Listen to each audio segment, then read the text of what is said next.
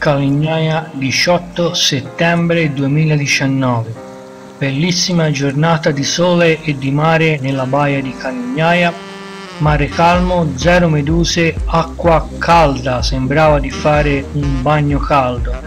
Il vento freddo di terra è sparito e quindi di conseguenza più niente tende a ghiacciare l'acqua che pur essendo praticamente al 18 di settembre il mare è sempre molto caldo avendo accumulato tutto il sole di giugno, di luglio e di agosto e quindi di conseguenza eh, in acqua si sta davvero molto bene.